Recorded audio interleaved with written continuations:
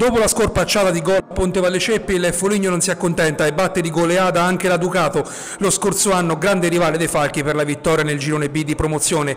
La sfida del Blasone è finita 7-0, è stata in equilibrio fino al trentesimo, poi una volta trovato il gol dell'1-0 tutto è stato più semplice per i padroni di casa, che hanno avuto anche fortuna, dalla fortuna dalla loro in occasione di più di una rete.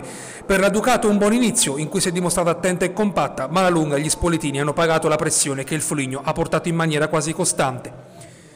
Le riprese di Giorgio Polli ci introducono al match. Foligno che prova a prendere il pallino del gioco sin dalle prime battute, ma la Ducato è ben organizzata con un quadrato 4-4-2 e non concede il fianco alla manovra di casa.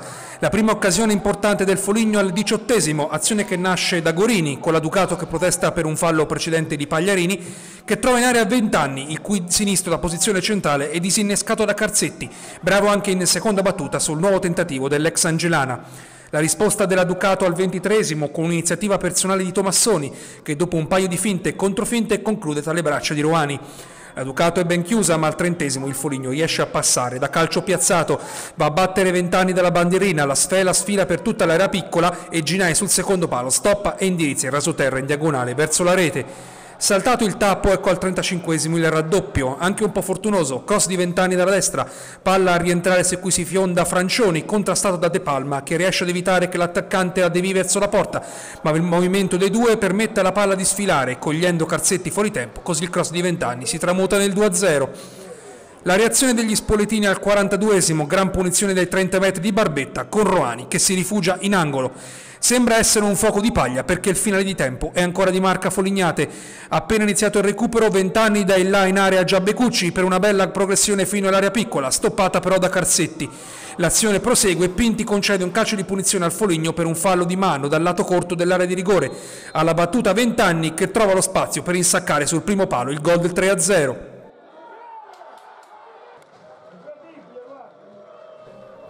La prima offensiva della ripresa è di marca ospite, al secondo Tomassoni va al traversone della sinistra, la traiettoria è maligna e Roani smanacciando deve chiedere aiuto alla traversa per sventare il possibile 3-1.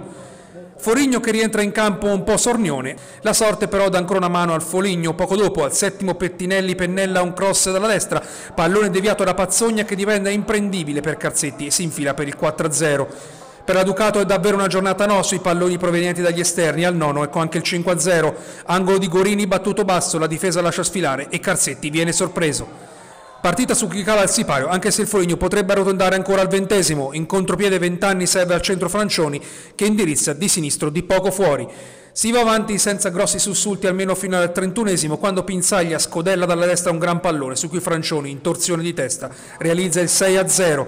C'è tempo anche per il 7-0 al 39esimo, cross di Peluso, zuccata di Francioni con Cassetti che respinge.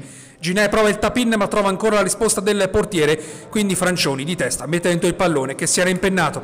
Insomma, altra goleada per il Foligno e domenica, dopo la semifinale di Coppa di mercoledì con l'Orvietana, grande sfida con il Lama. Per la Ducato invece una giornata da lasciarsi alle spalle. Abbiamo, paradossalmente abbiamo preso i primi, il, primo il primo gol su azione e il sesto gol tra un calcio d'angolo, tra una punizione, boh, non lo so, eh, strana, tra un, un altro calcio d'angolo, tra una deviazione su, su un mezzo grosso, purtroppo è...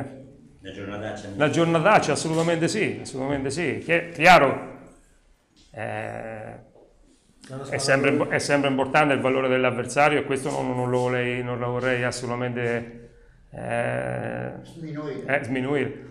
Trovato, ah, secondo me abbiamo trovato una squadra che in questo momento eh, potrebbe fare 7 gol a tutti o 9 gol. Sì, eh, quando siamo riusciti a sbloccare il risultato e poi a raddoppiare è diventata più semplice, però eh, non, è, non, è, stata mh, una partita, ripeto la, la stessa parola che ho detto, semplice, perché comunque la Ducato è una squadra ben organizzata, eh, all'inizio ci ha concesso pochissimo e, e trovavamo delle difficoltà, trovavamo delle difficoltà eh, nel, nel, cercare le giocate diciamo anche tra le linee, negli spazi. Poi dopo nel momento in cui abbiamo trovato il gol siamo andati in vantaggio e poi abbiamo raddoppiato e è diventato tutto molto più semplice.